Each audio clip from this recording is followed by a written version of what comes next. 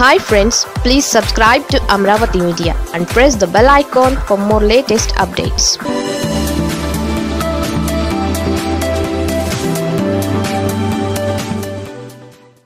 ఫిబ్రవరిలో పంచాయతీ ఎన్నికలు ప్రకటించిన నిమ్మగడ్డ. ఏపీలో కరోనా కారణంగా వాయిదా పడిన స్థానిక సంస్థల ఎన్నికలను తిరిగి నిర్వహించేందుకు ఎన్నికల సంఘం సిద్ధమవుతోంది. తొలి విడతగా వచ్చే ఏడాది ఫిబ్రవరిలో పంచాయతీ ఎన్నికలు నిర్వహిస్తామని ఎన్నికల సంఘం ప్రకటించింది. ఏపీలో కరోనా ఉధృతి తగ్గినందున వివిధ రాజకీయ పార్టీలతో చర్చించిన మేరకు ఎన్నికల నిర్వహణకు సిద్ధమైనట్లు కమిషనర్ నిమ్మగడ ప్రకటించారు. పంచాయతీ ఎన్నికలకు న్యాయపరమైన ఇబ్బందులు లేవని పార్టీలకు అతీతంగా జరిగే ఎన్నికలని ఎన్నికల కమిషన్ పేర్కొంది.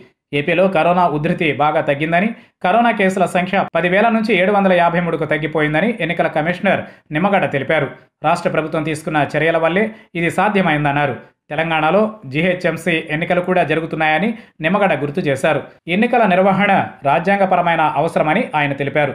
ప్రస్తుతం ఎన్నికల కోడ్ అమల్లో లేదని నాలుగు వారాల ముందు ఎన్నికల కోడ్ అమల్లోకి వస్తుందని నిమ్మగడ్డ వెల్లడించారు. ప్రభుత్వంతో పాటు రాజకీయ పక్షాలు అధికారులంతా ఎన్నికలను దృష్టిలో పెట్టుకుని ఏర్పాట్లు చేసుకోవాలని నిమ్మగడ్డ సూచించారు.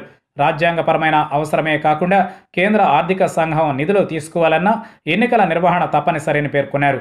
ఎప్పటికప్పుడు ఆరోగ్య శాఖతో సంప్రదింపులు జరుపుతున్నామని స్వేచ్ఛాయుత వాతావరణంలో నిష్పక్షపాతంగా ఎన్నికలు నిర్వహిస్తామని ఎన్నికల కమిషనర్ నిమ్మగడ్డ ఓ ప్రకటనలో తెలిపారు. పంచాయతీ ఎన్నికలు ఫిబ్రవరిలో జరుగుతాయని ప్రకటించిన ఎన్నికల సంఘం తేదీలు మాత్రం వెల్లడించలేదు.